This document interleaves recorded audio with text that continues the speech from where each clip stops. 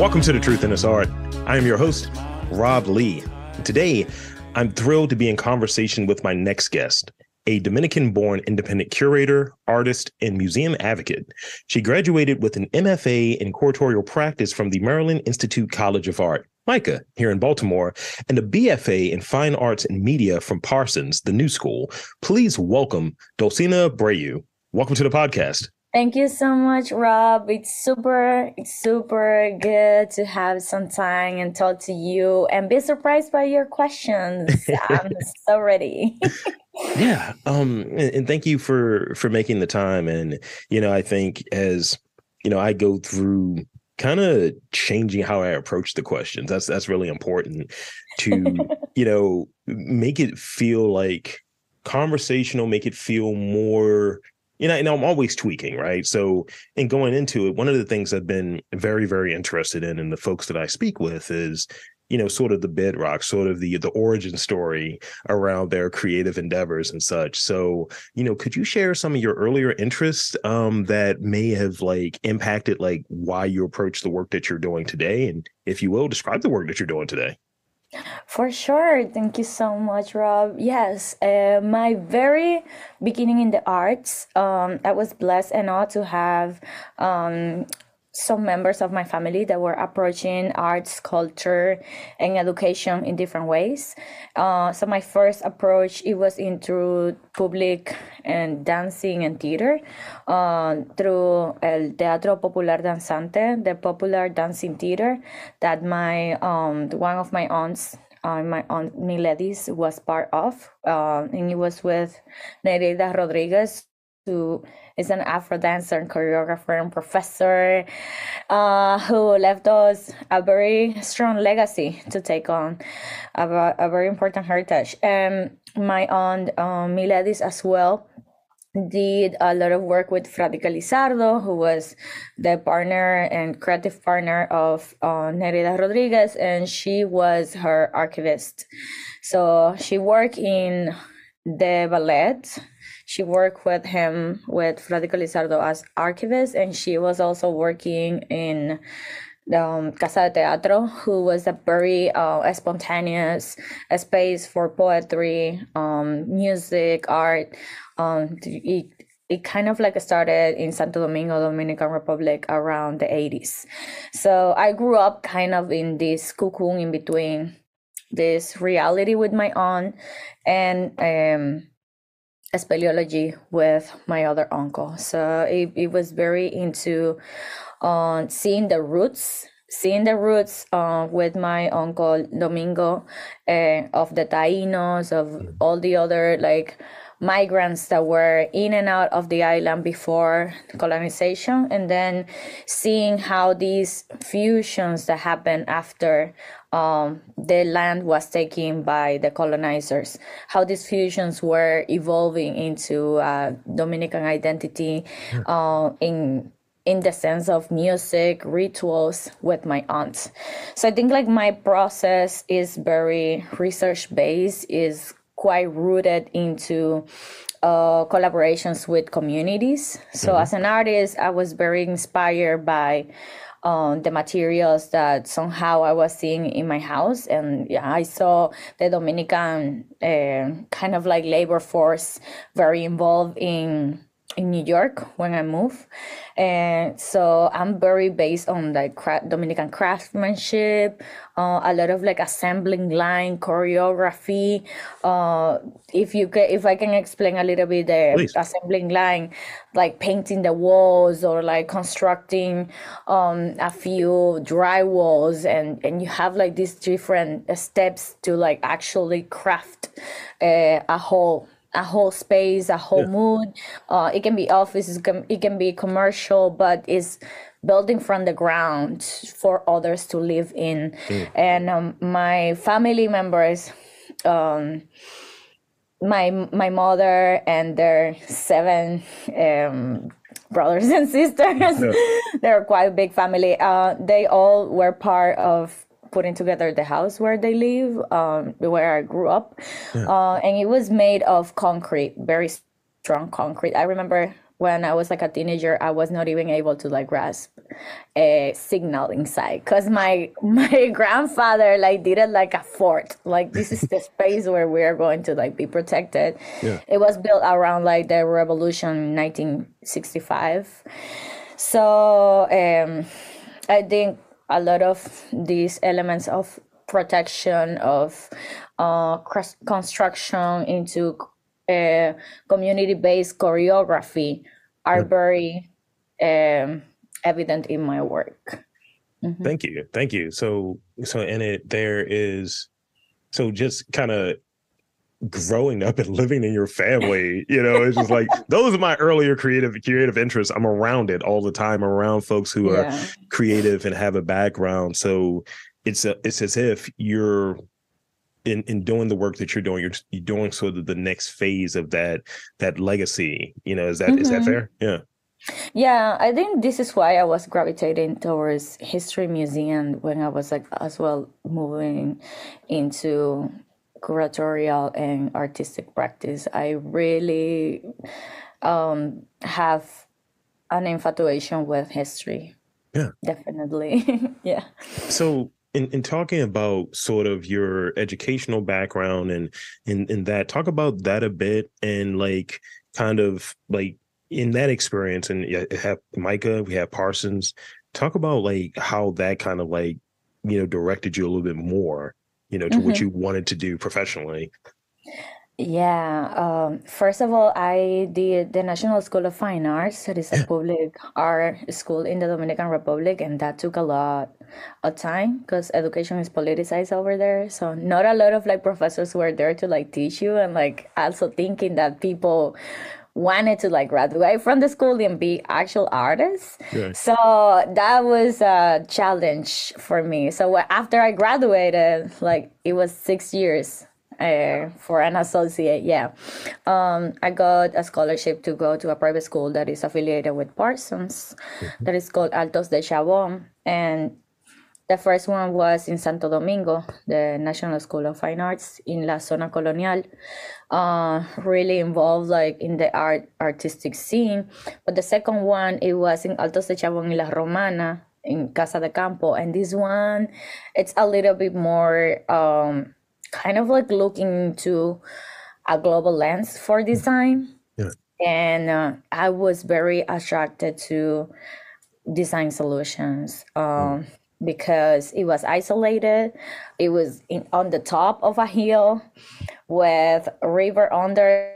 So we were like very into, like very connected to nature. Sure. Um, over there, I think like colorism, um, it was very evident too, because like you have a lot of like the people that like are owners of the spaces of like light skiing or European descent, um, kind of like um heritage. Yeah. and then everybody that is like in other roles are often dark skin. So i saw different realities. One how like we were like immersed in like this private education uh, that is very focused on design and finding solutions and social solutions in it and then facing the realities of dominican republic of social disparity so i think this this particular school created um, a lot of questioning about Yeah. what I want and what I want to do with my artistic practice in this space of learning. So when I came to Parsons, it, it was immediately that I really wanted to talk about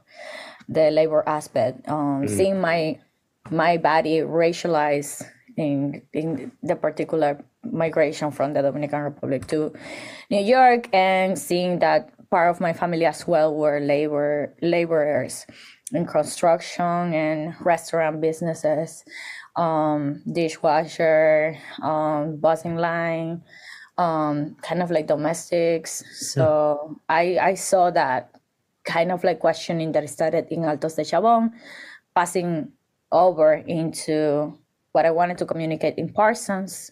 Parsons, it was a little bit more like research based projects Sure. in which I focused on Dominican labor and craftsmanship in New York, and MICA later on was more about how to expand um, this scope of my artistic practice within a curatorial lens um, and how to integrate and create spaces to continue talking about these histories, honoring these histories, but at the same time, passing over to people that maybe have never heard about the journey Yeah. of my community and uh, the legacies and how New York have been very shaped up, or at least like contemporary New York have been very shaped up by Dominican labor.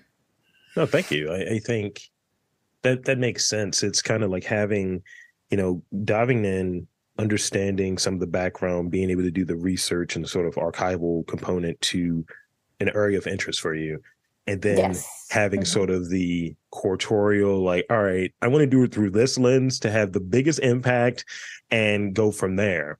And that feels like, and I think because of maybe I've read it in your, your bio somewhere, but it feels like it, it, it feels like mu- museum activism, right? Like you know, Yeah. being a museum professional and being a an activist, definitely it. You know, you're speaking to what's baked in within your work. So, Mhm. what do you feel is the role of like an activist within that sort of museum space? Mm, I think like first of all, like we need to like understand pretty clear who are we.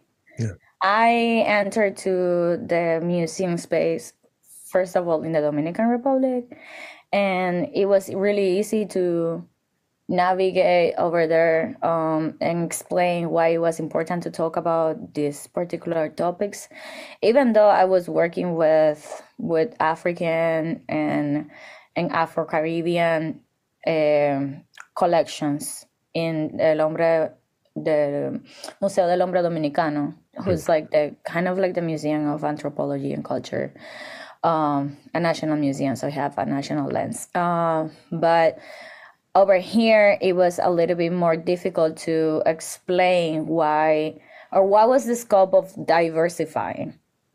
Mhm. And so when I came along, um, I explained pretty well that I'm a queer, Latina, femme, very Caribbean. So I was not that much assimilated into this like a white Latino spectrum.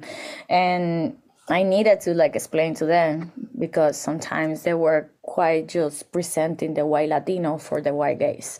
And uh, I think I needed to like unpack a little bit what, how the dynamic was gonna take place, but it was gonna take in place. Um, first of all, um, seeing what were the laws in which this content was gonna live.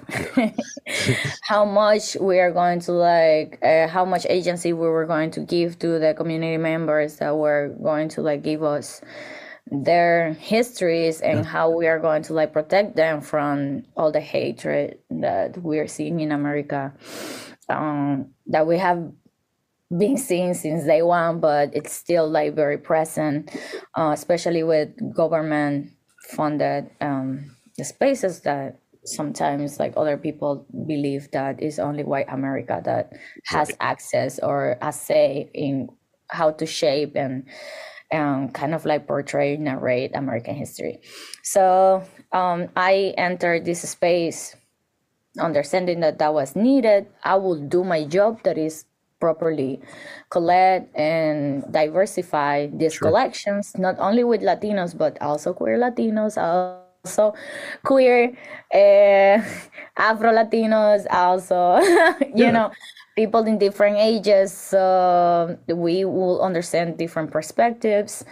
So, yeah, I think um, it took a minute for me to understand how much push did we need Mhm. uh, um, but at the same time, I feel like very happy that the results that I, mm, at least I see in right now in American history, uh, especially with the 9/11 um, collection, which I was like very big part on expanding. Um, we can we can narrate and we can give we can provide to educators to researchers many different voices that were not present in maybe like four years ago and see and understand how legislation have been shaping by the labor of so many Latinos. Um, at least like to have um, health support um, for more than 70 years. I think like they got funding for the 9/11, um, the people affected by 9/11, and and that was like one of the roles that I was kind of like um, playing and at the same time exercising this museum advocacy. No, thank you. That's that's great, and I think hearing about sort of like being able to share and help amplify the stories of folks that you know previously were not part of that conversation. I think it's a disservice for folks not to be in there. And going back to one of the things you touched on about um, sort of in the museum world and some of the fine art spaces, folks that look like you and I, there's Mhm. a, a certain way that they want our stories to be out there. And I think part of that message is lost when someone like you and I doesn't, you know, stand up and say, nah, I think we need to have something that's really representative and we got to do this right. You know, we Mhm. can't like just, hey, here's a few pictures of people that look brown and uh, yeah, sure, they're queer, they're this, they're that. You know, but Mhm. it's like it has to feel real. Otherwise, you're Mhm. losing sort of the you're losing the story. You're losing the sort of narrative. You're not preserving culture in that way. Mhm. And you know, you're just kind of just putting a, a different color over the same things that are being told. Yeah, um, there is something very important that maybe I mentioned, but I wanted to highlight. Please. Is that is the agency how for me it was so important that whatever we whatever interpretation we were giving to these pieces it was a collaboration with the community and they were going to approve and and correct us. Like if we were making a mistake one of the biggest issues that we have right now in museums and it's that colonization literally like misinterpret everything because um, before none of our communities have agency and saying this is not a ritualistic piece this is a guira Yeah. you know this is an instrument this is not a tool for cutting cheese or you know like all these like different things that i know that like they are quite offensive but you cannot imagine like we have so many of them or like just the word on saying we're activat maybe from africa you know like we ha- we need to confront the fact that this massive theft Yeah. this uh, massive robo as we call um it's very evident and it's very vivid because we are paying with our taxes uh, to co- to preserve these materials and we cannot even use it because we don't even know what we have Right. and this problematic have been kind of like pushing us into in, instead of like a start instead of like continue collecting and this kind of like need of like um kind of like be full of ourselves saying that we are going to like acquire this is to actually show care Yeah. for these other stories that are there like in this kind of cemetery of colonialism and have never been kind of like connected to the real root and for the museums to actually think how they are going to use it. Sometimes like people are like oh i don't know how to connect with this community. We want these these visitors to come over but they haven't even looked into their drawer and say maybe we have some stories in here that Right. we can collaboratively bring into life but still i think like this is why i took like maybe a few like a year and a half of break from the museum field because until like we don't have that mission Yeah. um i i believe that we're going to like continue just like having these um apologies from the museum. Oh what's the story we didn't know that we're going to like create more harm in the community.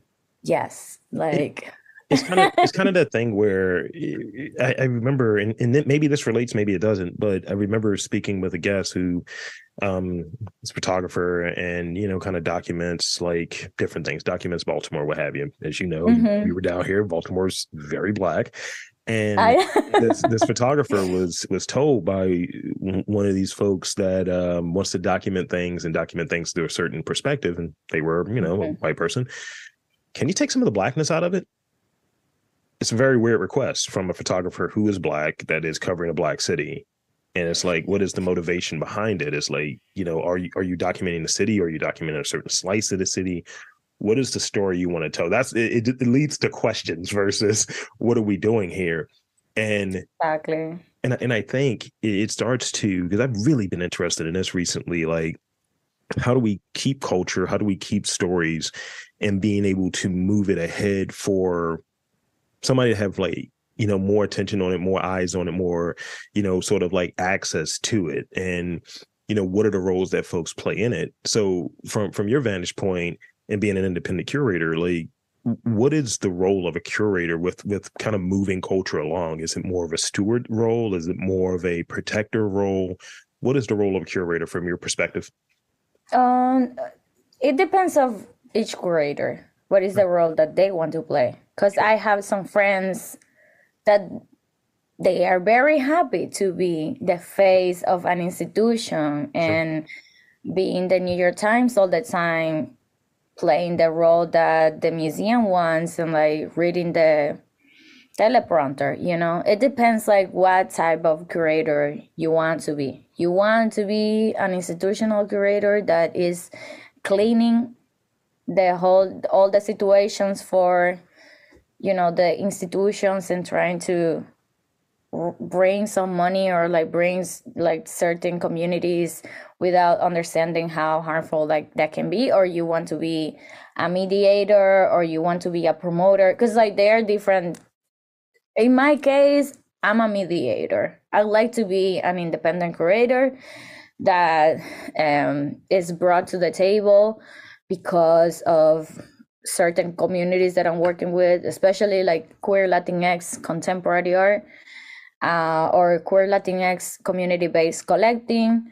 If somebody tells me dulcina we are very looking into these communities like do you have any idea? I will be super ready and i will make sure that you know both like the community and the institution are in a common ground. And it will never be in a common ground because there there are certain hierarchies. The institution is always going to have like the the big hand but my role as a creator, the one that i wanted to create for myself is to be a mediator in between communities and institutions. Um, i know that for certain reasons i was in that smithsonian so i was um, a consultant creator that had certain privilege because not a lot of people like handle the budget and like you know kind of like being in a presence and nurtured by other creators and people in the field as this opportunity that I had. So I need to acknowledge that. But I believe that my role over there was um, to work with the community that I that I'm from. Yeah. And when the project ended up, I just decided to be working independently and very happy to be back in New York. And uh, the project that I wanted to like work with, it was um, thankfully receive an award from NYU. And I've been uh, working with the Latinx project who understood the urgency. Yeah. Uh, they had this type of roles, not only the content, but also having spaces for independent curators to showcase their ideas and the way that they were reading uh, and giving another spaces for um, Latinx community or contemporary in the contemporary world. But yeah, I think like uh, it was uh, it was very important for me to find an outlet that will nurture a creator that is very focused on mediation rather than an institution who is going to like want me to do blockbusters with Latinx artists that everybody knows already. Uh, I I believe that that's necessary because not a lot of people know. Mhm. So I need to acknowledge that. Um, Sure. There is a show that I actually, there are certain shows that I truly like was inspired. Um, there is one that I was um very little time working with them, supporting them, but it was very meaningful, uh, and has been paused right now, uh, because um some of right wing decided that in the Smithsonian that this project it was very um maybe radical or but it was talking about the legacies of the young lords uh, the Latino um, chapter of the Black Panther Party that started in Chicago and started in New York as well. And they changed America. They changed the way that we have patient bill of rights. They changed the way that uh, a lot of um, treatment for addiction uh, was performed. Uh, and they paused the show, but that gave me this uh, kind of push that even though this museum was going to pre- present uh, legacies that I already know, there are a lot of people that don't know about the young lords. And we still need to like be pushing, even when we think that certain blockbuster shows they don't need to exist. They they do, and I think like this is why I wanted to be like very flexible in which like each person needs to decide what kind of role in terms of curatorial practice they want to have. And yeah, mine is a mediator. No, that's that's great, and I, I think we we uh, always any any community needs someone that's pushing for that that's that's in the side that has the background within the arts community, having the arts education, having the the acumen to know like the ins and outs, and it's like, all right, advocate, mediator, hey, this is an idea, you're going to do right by us, right? And I think that's probably served you very well in being able to to work with different artists different sort of uh cultural preserv- uh, preservationists and i would imagine maybe that perspective you know that approach has kind of helped in your your own creative work right because you're not Yeah. just you know you're also an artist too you know I'm also an artist. so talk talk about your art a little bit for the folks Uh, yeah. So I'm gonna say maybe like the simple way. Uh, so I see movement as a drawing, as migration, as a line that is going to take different shapes and forms. So I decided to work with choreography that is influenced by um, assembling line and craftsmanship. Uh, in that sense, it's quite minimal. Sometimes I'm literally like painting a room that could be reminiscence of my imaginary nursery room. Uh, this one is like size 5W. It was one of my favorite pieces. So I was playing as the role of a Dominican painter that is covering these residential spaces maybe in Park Avenue that can like give uh full maybe like three times the size of uh of a nursery room for a baby and like carefully thinking about this whole world that they are going to create and i decided to create it for myself and uh, have a second chance of like providing for myself things that maybe because of precarity in the moment that I was born I, I couldn't have. So I was just like enjoying talking to my mother and seeing what were her choices maybe if she had a second chance to bring you know a little Caribbean woman into the world uh, as a single mother. So I think like these conversations as well are very per- personal with family members. Uh, so I paint the whole room kind of like impersonating my my uncles that have been doing that and we didn't know that they were having such a big kind of like a strong labor or like physical labor uh, they often were sending money we didn't know you know uh, so i think that's another way to honor all the uh, efforts of them but they kind of like walk me through uh, certain elements of the work. I did uh, this one and then started like peeling it and making myself part of the room. Uh, and it ended up being a little bit like dramatic because the room ended up being kind of like this uh decom- like deconstructed curtains that sometimes I saw. It was it didn't happen in my family in my house but my other vecinos my neighbors like the way that they were dividing the room it was through this curtain so i think these like um elements of design that i've seen in from precarity uh, speaks of um, at how elements or how resilience have been portrayed Mm. and and very vivid for Dominican diaspora and like Dominicans in the island as well. So um, yeah, right now I'm working in another piece uh, called Territorio, and I'm very excited about that one. Um, it's um kind of um ceremony to go back and connect with people that I grew up with.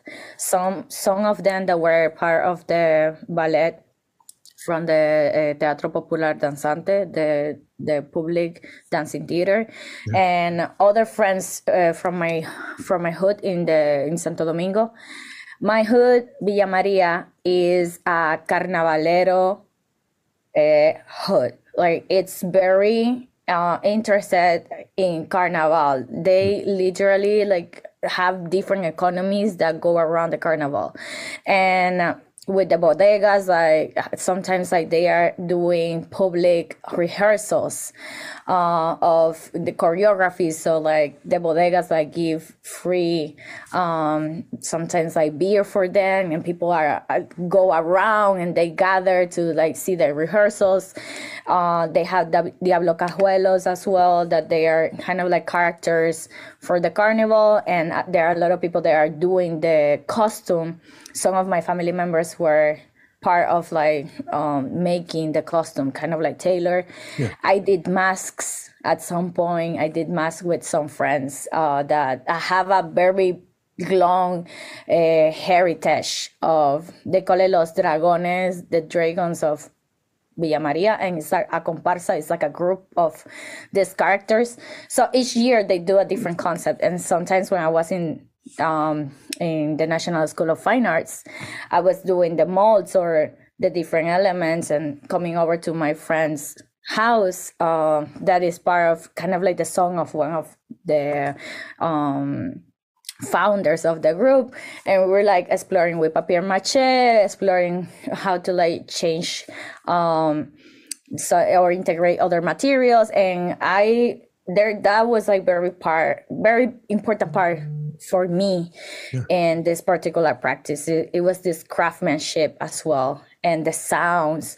So territorio right now is kind of like a vocabulary of all these um, elements uh, of design and art, kind of like the sound of the um, Batumbale or like Alibaba that we have. Um, and I think it's interesting how some elements, when I was living in Baltimore, I was seeing these elements, especially with uh, with the bands, with the uh, battle of bands. Yeah, So yeah. we have battle of bands in my in in Villa Maria. So I think integrating that as well um, gives me um, another avenue how to talk about my roots with friends in Baltimore and see that we were not that far apart.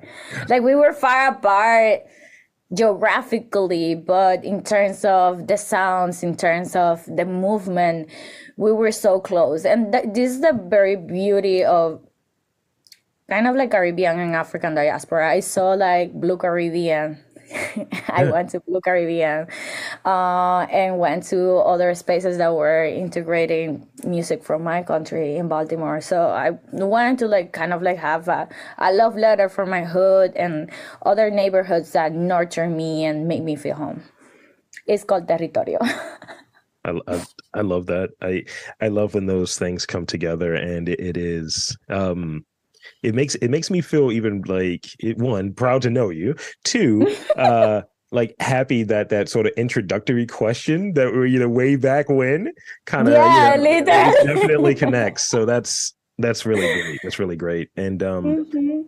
I think I think what we can do now is because I think you kind of did the mic drop there a little bit. So I think it's time for us to kind of go into some of these rapid fire questions, if that's all right with you. Yeah, I'm super excited. So I got a couple of them for you. Don't overthink Mhm. them. Don't overthink them. They're they're, they're fun questions. They're, they're questions though.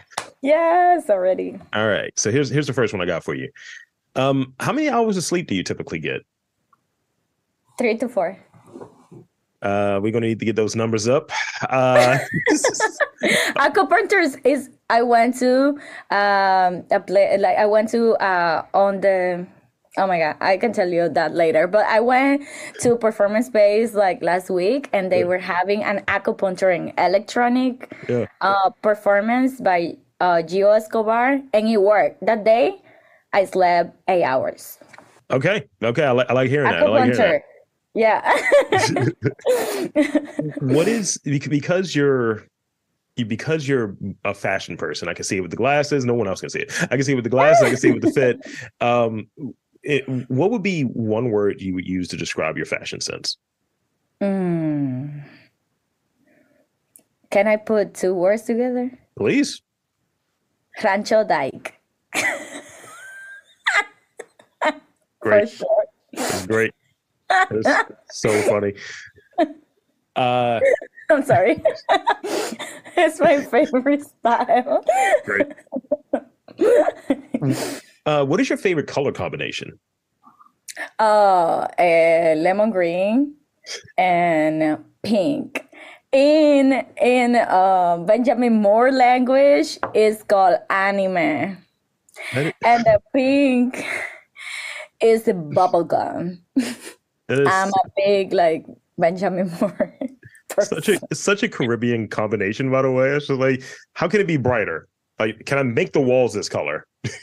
I love it. There is like I, I think like our after our first uh, conversation, Yeah. I was looking around in my house and it was always anime and bubblegum. So I guess it. I have something with it. yeah. um, name one artist that made you like fall in love with art, like to the degree where you're like, I know I'm going to invest a lot of my time, a lot of my energy, a lot of the blood, sweat, tears, all of those things into art, creativity, museum work, advocacy. Just name a person that's kind of like help like guide you in that direction based on their work. I will need to be four. it's impossible. It's impossible. The first one, Scherezade Garcia. Definitely. It was a big inspiration to me. Um, um, she ended up being my mentor in New York, but I grew up with one little like cutout in my room since I was, I don't know, nine year old or yeah. Still, she is a very big pink bubblegum and anime it has some turquoise too. I love it. Uh, but but she's a strong multidisciplinary artist and I respect her the most. The second is Elia Alba. Um, it, she has been working with with um, photography and sculpture. Her collection of busts that she presented in Bienal de La Habana.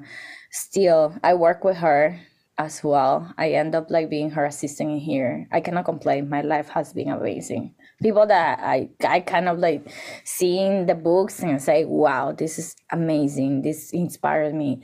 In some way, somehow, their God, he always put them in my in in my way. Uh, the other person is Nicolas Dumit Estevez. He's like big creator and artist as well, and he did the Papa Mobile, the the potato or like Pope Mobile, which he was a very um kind of like game changer in performance art in the Dominican Republic and like worldwide as well. It was during the fifth anniversary, the fifth centenary of Columbus Mhm. uh discovery the and the I like the Dominican inverted Republic commas. or Like, Americas. so he literally did a procession with motoconchos and he did like a whole situation very comic of being like the pope but Yeah. it was a potato and he did a procession into the places that the pope was never gonna go uh, with a radio in front of his bicicleta his bike uh, playing ave maria. And he was going to like neighborhoods like in the north side of the island and everybody was in ecstasy. Uh, and i think like if this is not the power of art to like create a commentary and at the same time like just like change the way that people like are having their daily life routine it definitely created an impact on me so yeah you had three Well, thank you. You you're you're an overachiever. I appreciate that. I love it. Ah! so so with that, um, I think I think we wrap here. Um, I want to I want to thank you for coming onto the podcast. Um, and I want to invite um you to tell the fine folks where they can check you out, um, social media, website, all of that good stuff. The floor is yours. Thank you so much, my dear. So yeah, I'm Dulcina Abreu. My Instagram uh, goes by my name altogether, and I have a very special um, overview of Estilazo, my latest show, and it's inside the Latinx Project on website under Estilazo, and we are going to have a second iteration of it soon in Baltimore uh, Yeah. during fall. So I'm going to like keep you all posted. Uh, if you follow me in Instagram, you can see when are the dates coming, which artists are going to like be present in the second iteration, and know more about my practice and how's Territorio coming along. So thank you so much, Rob. Thank you. Thank you so much. Um, this was great. This was great. I, I'm, I'm, just, I'm just, I'm just happy about this. So, there you have it, folks. I want to again thank Dulcina Abreu for coming onto the podcast. Definitely look her up, look into her work. And I'm Rob Lee, saying there's art, culture, community in and around your neck of the woods. You just got to look for it.